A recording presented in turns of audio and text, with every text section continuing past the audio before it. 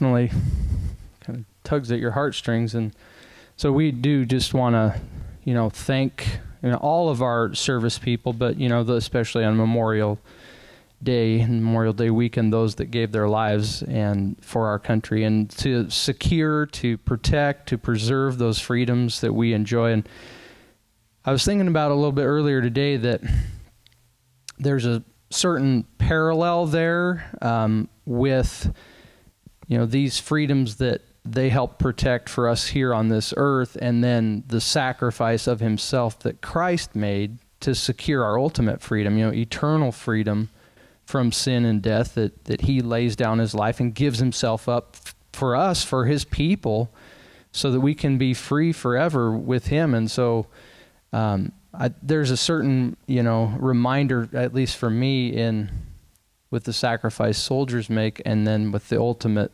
sacrifice that Christ made of himself. And so you know we're going to Dan's going to preach for us a little bit later and the message is going to focus on this.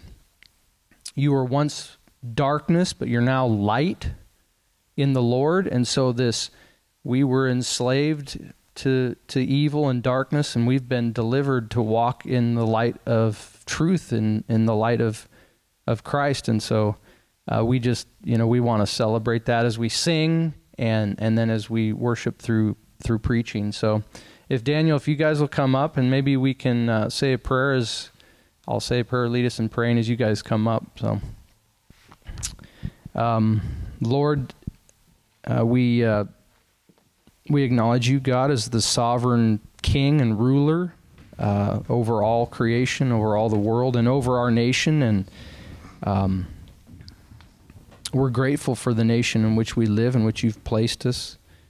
Um, grateful, you know, I'm grateful today hearing the announcement from President Trump about that places of worship are essential, and we we hold to that value and that conviction. Worship is what we were created for, and you were the one we're created for. So, um, thank you for our soldiers, both living and those um, that have given their lives, Lord. And thank you most of all, God, for uh, for your Son, who gave Himself on the cross, who died and who rose again, Lord, to set us free from sin, to make us yours, God. So we just want to honor you and give you praise here together as we sing and as we listen to your word. In Jesus' name, amen. Good afternoon for those of you who are watching at church time, or uh, good evening, or good morning if you're watching in the morning, wherever you are, um, whenever you are, time wise. Uh, hello. Uh, let's go ahead and stand and uh, we'll uh, join our voices together and sing. And if you're uh, sitting on your couch, let me hear you as well.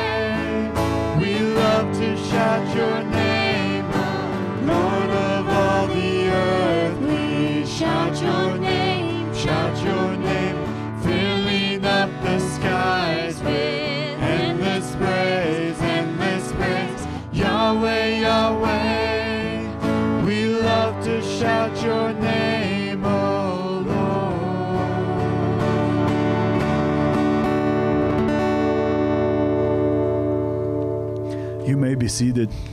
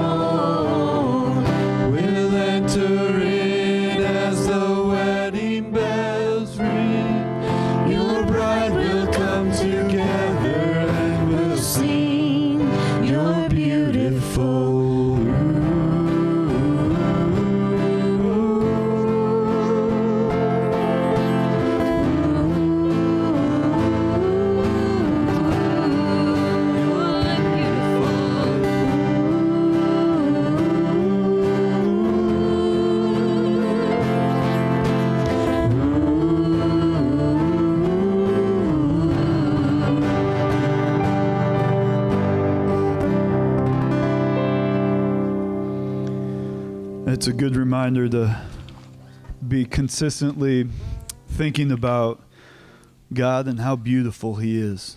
His plan from creation to Christ dying on the cross to us now, and then the future plan of us being able to be with Him in glory. There's a lot going on in the world right now.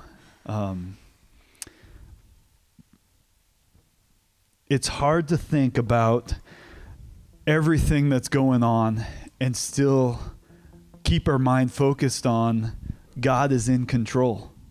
Because we have so many things that are um, influencing us. Elections, uh, ballots were in this last week. And what is that going to do to our lives? All those different decisions, how is that going to influence us? And I was thinking about uh, the songs, and we really need to focus on God because He's in control of everything. And I was thinking about our citizenship with voting and our citizenship here in the U.S. Well, ultimately, it's not here. Ultimately, it really doesn't matter what happens here.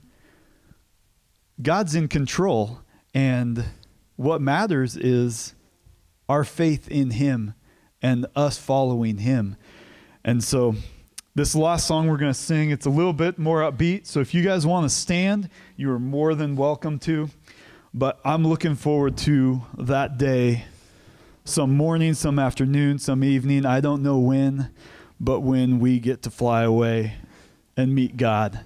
Um, so go ahead and sing with us, and hopefully this will. Uh, lift our spirits even amongst this uh, Memorial Day weekend and remembering.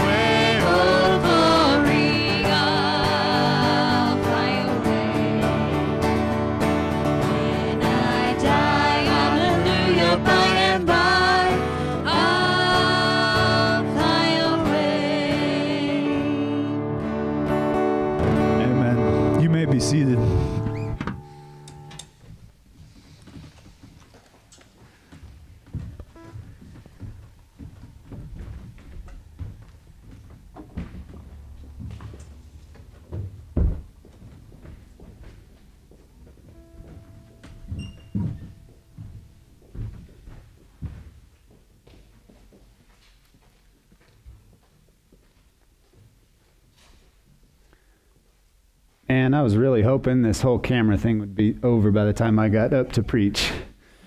But it's not, so here I am. Suppose I have to look at the camera tonight while I preach. Can I can I look around? It won't confuse everybody at home. Okay, good. Well, it's springtime, and in Eastern Oregon, springtime, I get to thinking about spring bear hunting. And so I going to start telling a little story about spring bears. And this one happens to be my first time. If you guys know where Imnaha is, it's kind of about northeast Oregon as you get. And my hunting partners, they were already there and at camp. And have you guys ever been late to something you're excited for like that? And you're you're coming in, and uh, just you know, for me it was dark and I know the guys are already there, and man, I'm excited because I want to get there. So you might have a little bit of a lead foot when you're doing it. And I actually had never been up. I was looking for the pie plates to get to the trailhead where they were at. So I hadn't been in that country, but you get to Imnaha and you just start heading up the hill towards Hat Point, and it's it's steep and it's dark. And uh, I was flying and you know looking for my little pie plates to get there, and made my turns and squealing up to camp, and uh, and finally met up with them there. I'm to leave you right there in that story. So you guys are to have to have that image in your mind of me in Hell's Canyon in the dark, flying to get to bear camp at night. Now, if you would, you guys stand with me again. I know when I'm at home watching this, I'm oftentimes on the couch, and uh, this is good practice anyway. So if you guys would stand, I'm going to read the passages of Scripture that, that we're in today. We're in uh, Ephesians 5 now, and the verses that I'm going to be sharing are Ephesians 5, verses 7 through 14. It says, Therefore, do not become partners with them. For at one time you were darkness, but now you are light in the Lord. Walk as children of light, for the fruit of light is found in all that is good and right and true. And try to discern what is pleasing to the Lord. Take no part in the unfruitful works of darkness, but instead expose them. For it is shameful even to speak of the things that they do in secret. But when anything is exposed by the light, it becomes visible. For anything that becomes visible is light. Therefore it says, Awake, O sleeper, and arise from the dead, and Christ will shine on you. Now, if you would, just bow your heads with me and let's pray. Father God, thank you for this opportunity. Uh, thank you for your word that teaches us. I pray that your spirit now would uh, take over in a special way, that it would be your voice, um, your heart, your mind that is shared tonight with us here. So I thank you for that, Lord. Look forward to where you take us. May your light shine on us. Amen. Thank you. You guys can all sit down now.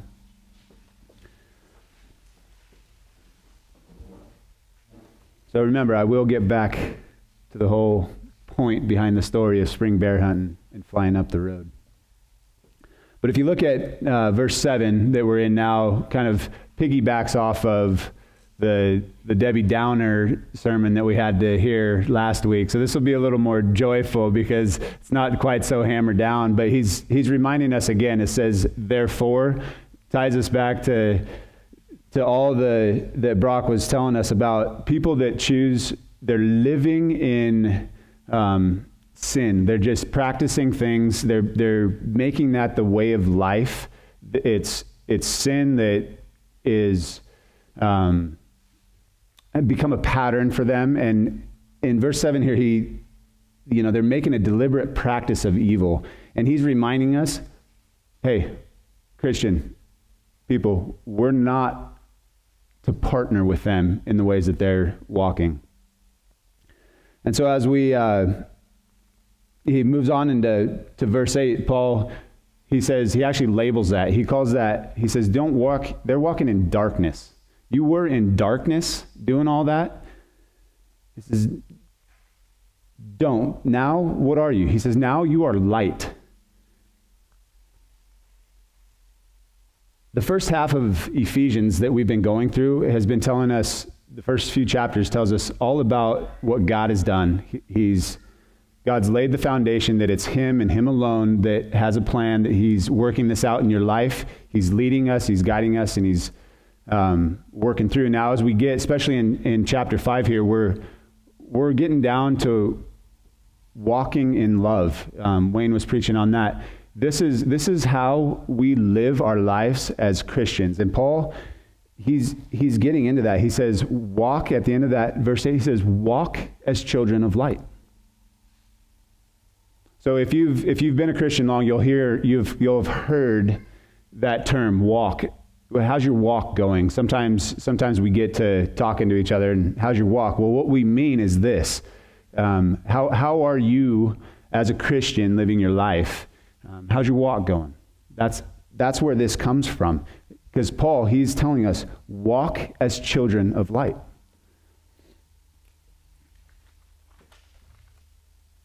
And he says, he goes on in verse 9 there, if you look at that, he says, the fruit of, li- of light. So he's talking about that it's good and right and true. We're, we all know that fruit, light produces fruit right? We see that. We, we watch the fruit grow throughout the summer. In fact, right now we've been clouded in, and I've already heard some people saying, yeah, we just need, some of the farmers like, we need some heat. We've getting a lot of rain. We just need some heat get this stuff growing. And so that's, that light produces the fruit. It's, it's goodness and righteousness. And, and that's what Paul's reminding us that now you're, you're not in darkness, you're in the light to, you're going to need to produce fruit. As he, as he bounces back into uh, verse 11, this must be important because he says, again, don't partner with them, but expose them. As you move on into, into verse 12 there, he, he actually labels this. He says, these things are so, they're, I can't even say them, they're shameful, and I'm not even going to mention what they are. They're so horrendous and they're shameful. And if you look at that, it says they're done in secret. So you get this idea that these things are, these evil deeds, these wicked ways, they're, they're doing these things in darkness, in secret. And I think, uh, I think when we're all in those moments and we're alone and we're withdrawn and, and we, we think no one's watching, we tend to have that temptation that says, yeah, I might, I might get away with this because no one's watching. You know, somehow we, we're able to push God out of our minds that way and, and uh, think that he doesn't see or hear what we're doing. And, and it's usually those times when we're withdrawn, we're alone, we're in the dark. Um, and so Paul's reminding us again, like these things are, these things are secret and they're done in secret. So you need to expose them by the light.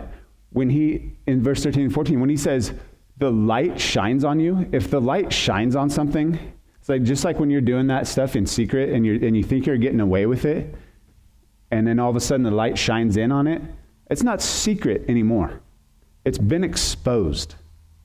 So, in that same way, Paul's reminding us that that light, that you're a child of light, that's exposing. So, you're to, you're to come back to those folks that you're, um, you once were, we all once were that way, we are to now be shining that light of Christ that's in us on those situations. And that's the contrast that you can start to see here is that it's, it's darkness and light.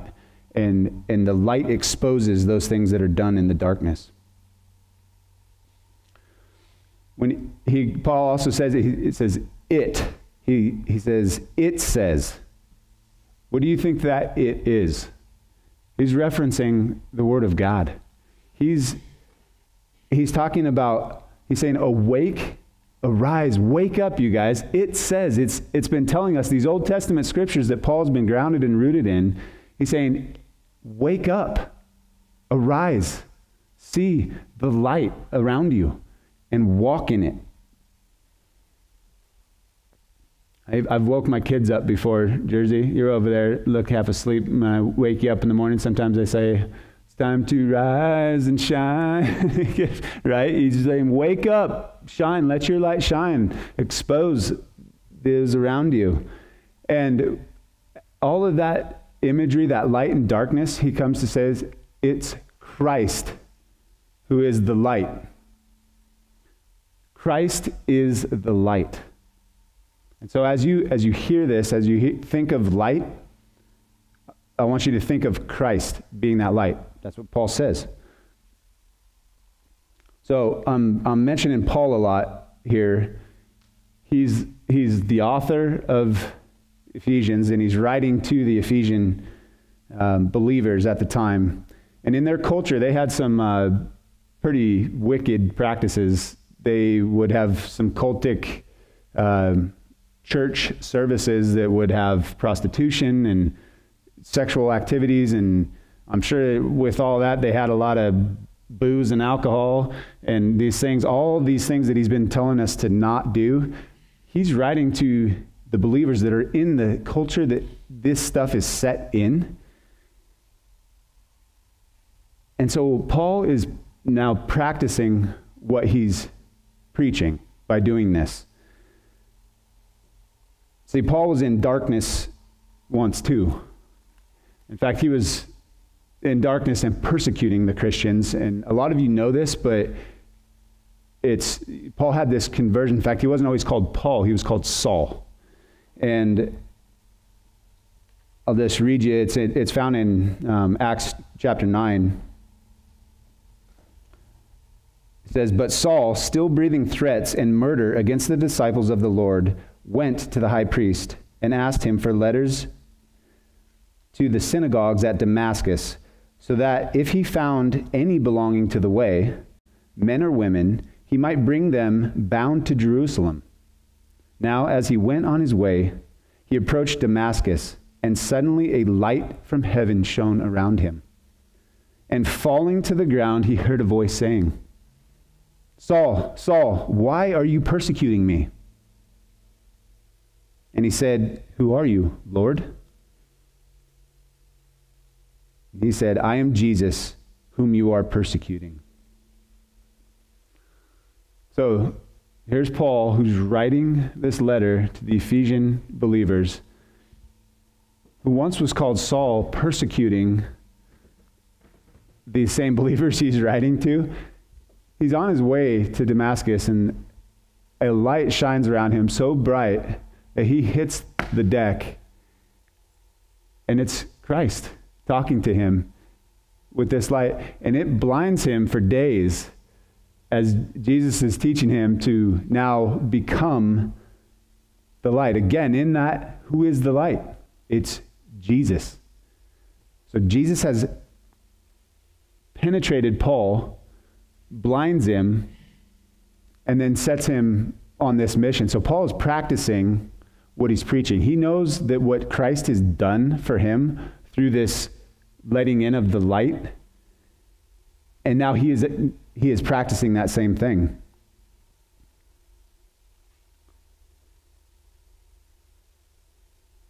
So I got to thinking about this with Paul and how he had this experience with the light that shone so bright. God used that, changes his life. He's got this just burning sensation now to go back and I mean he's he comes back to these believers and they're going, Man, this guy was trying to kill us. We don't even know if we should trust him or not. And uh, now he's got this passion to preach Christ and Christ crucified and teach others about him. He's so passionate. He had that light fill him, and now that light is coming out. He's He's going to these people, he's exposing them by that same light that's within him.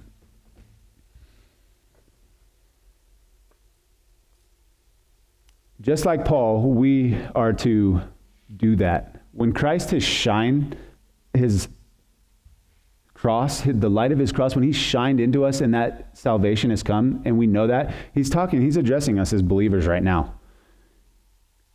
We are to do that same thing. So, uh, you know, I'm, I'm a builder, and we're building the home for John and Marcia, and it's a it's a wonderful home. And during this process, we were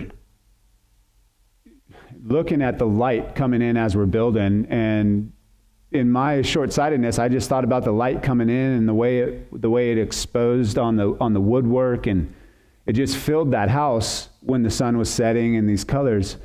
And uh, John shared these photos with me, and, and I got to thinking, man, I never even dawned on me how beautiful the light shines out at night in the darkness. It's unreal.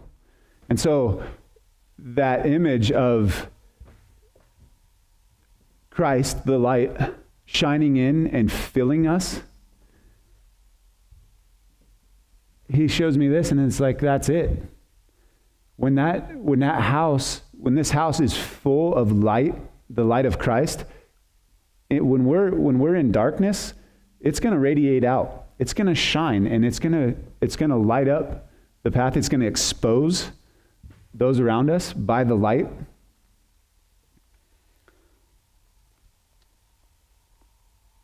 I'm going to read you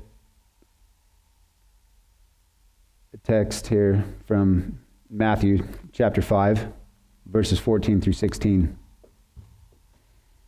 It's about the light. It says, You are the light of the world. A city set on the hill cannot be hidden. Nor do people light a lamp and put it under a basket, but on a stand, and it gives light to all in the house. In the same way, let your light shine before others, so that they may see your good works and give glory to your Father who is in heaven.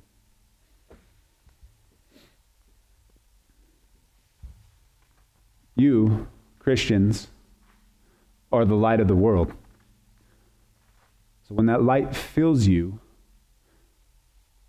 you're to let that light shine around you so that the world around you sees those good works and gives glory to God.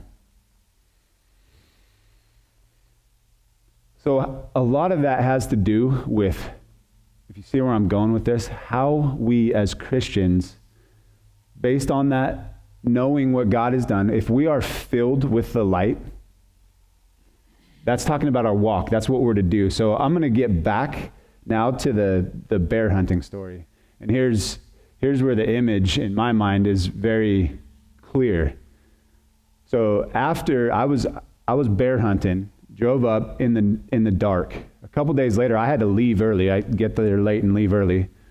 I wasn't even married yet, I don't think, and my I don't have that. My wife working me too hard, but no.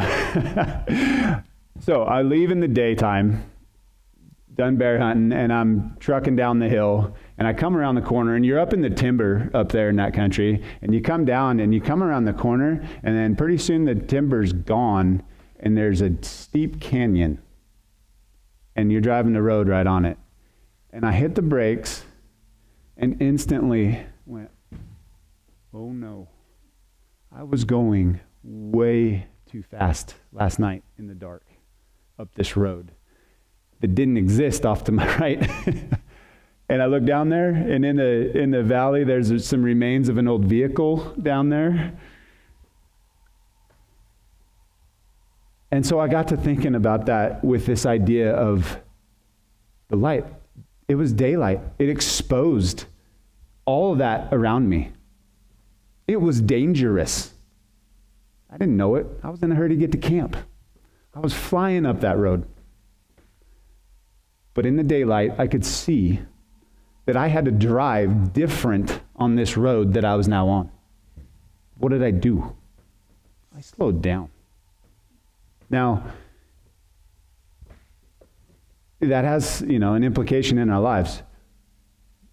Paul says, don't partner with them. You as Christians, you, I hope you have friends that are not Christians. Okay? I hope you're not partnered with them the way Paul's warning us not to partner with them, but he also says expose them. And you can't expose them if you're not with them. You got to have that light near them to expose them. And so, just like that road that I'm coming down, I still have to get down that road. But the way I go down that road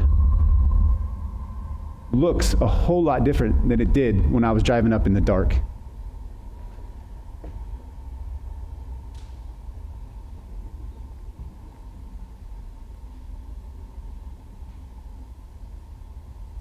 So, I have this picture up on the on the screen, and I I'd love to. I know we have these LED flashlights and things like that now. I, I, would love to have this flashlight that shines out this cross as I go, because as I'm as I'm doing this and, and preparing this sermon, I just I think about that, and it's got it's got a lot of significance. And I think so. If somebody can invent that for me and get me one of these cross-shaped flashlights that I can walk around with on the ground, uh, it helps because as a believer, when you come to know the Lord, when this light shines in you, Paul's teaching us how to walk.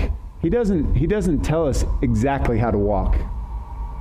He warns us, he tells us some things like Brock was saying, don't partner with them. Man, we got a prayer train going on here, don't we? It's pretty loud. People are praying hard. But when you're walking, if you look at that cross and you think about that path that's lit up by a cross, about the shape of the cross, if you're following that, you got you got some ways to go there. It's not just a straight line. As believers, we've got to we've got to work out our salvation this way. We got to we got to learn how to expose people, but it's not easy. When we come and I'm sure all of you guys have had friends, you've you've come to know the Lord, God's changing you from the inside, and you got this buddy and you're like, "Man, kind of awkward around him now cuz I know what he's doing is not right." So, but I don't, you know, there's this awkward moment. And I think that's as believers, it, nobody's going to tell you exactly how to move through that other than God's given us that word that, hey, this light is now going to guide you, it's going to expose those things. But He says, you got to expose them. You can't just withdraw. You can't go hide your light. You can't just exit out of this, right? So as we walk, especially here, as we come to know the Lord, we know this light that is shined in us. We're walking in love is the is the point that Paul's making here. We got to expose those dark ways. We got to be careful. We don't know exactly which way to go. We don't want to slip back in. We don't want to partner with them. But we are going to walk as children of the light.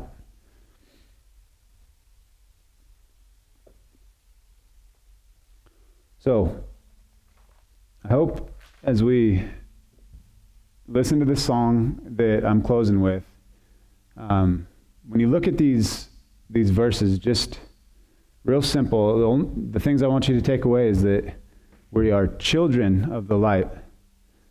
We're, we're to walk as children. Um, yeah, there's probably a whole a whole nother sermon in just that right there, but the point is, is that we have a father and, and we're to follow him. And if you have kids, I don't even have to say anymore about that. Um, and so just walk as children of the light and understand that Christ is the light. If you have, if you have those two things on your mind from this night, then I think that's a success. So th- there. The reason why I skipped that over is because until we understand that Jesus and his cross and his light is what pleases the Lord, then we won't be able to do that without him. So as we think about the light, it's Christ, that light that shines in us. Because of that, we will be able to please our Lord. We are his children. By his son, we will walk as Christians, and we will be able to love and please our Heavenly Father. So, walk as children in the light. You guys are child children of light. I know some of you are a little older and going, man, I'd like that thought about being a child again, right? Well, we are. and it's because of Christ. So if you would, pray with me.